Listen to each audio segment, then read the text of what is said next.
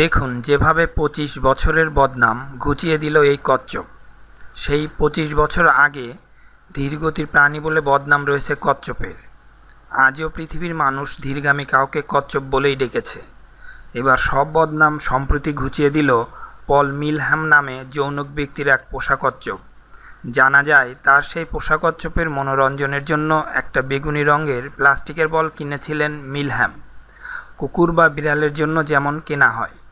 কচ্ছপ বল নিয়ে কি করে দেখার জন্য ক্যামেরাও পেতে রেখেছিলেন আড়ালে। সেই ক্যামেরাতেই ধরা পড়ল সেই কচ্ছপের কেরামতি।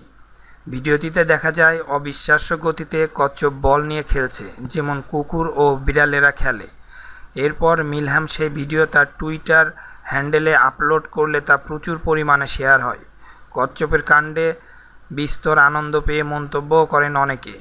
আমার এই চ্যানেল হতে আপনারা যদি আরও লেটেস্ট নিউজ পেতে চান, তাহলে অবশ্যই সাবস্ক্রাইবের মাধ্যমে আমার সঙ্গে থাকুন। ধন্যবাদ সবাইকে।